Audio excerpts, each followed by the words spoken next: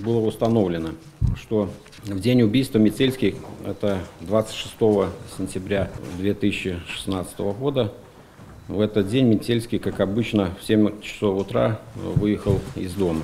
Преступник сел ему в машину возле дома и проследовали на э, дорогу Березино-Борисов. И при пересечении развилки э, трасса Минск-Могилев Метельского был произведен выстрел, и после этого поджег его автомашины. Преступник действовал хладнокровно, расчетливо, дерзко. При проведении неотложных следственных действий были установлены как антропометрические данные, предметы э, одежды преступника.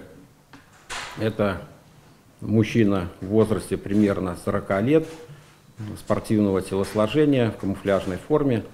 В дальнейшем, благодаря содействию наших коллег из Российской Федерации, это Главное управление криминалистики Следственного комитета России, была проведена работа с очевидцами, которые видели непосредственно преступника и его действия, э, то позволило активизировать э, их память и составить субъективный портрет.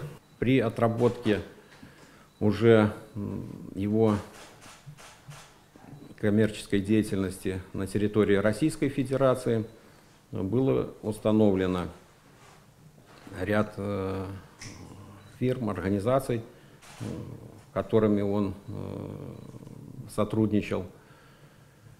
Причем с этими же фирмами э, было установлено, что сотрудничал и менеджер Косяк, убийство которого произошло спустя полтора месяца после убийства э, Метельского.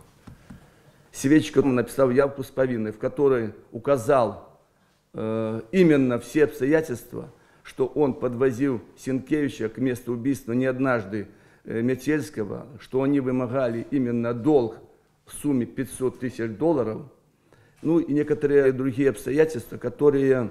То есть мы уже поняли точно, что э, это два фигуранты, которые причастны к совершению убийства Метельского.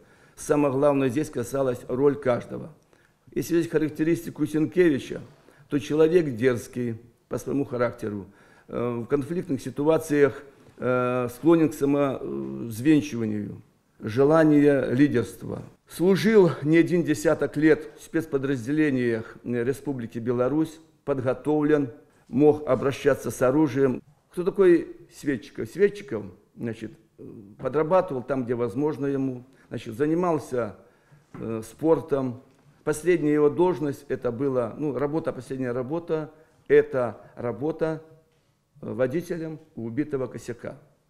С учетом этих вот характеристик следствие предъявило обвинение.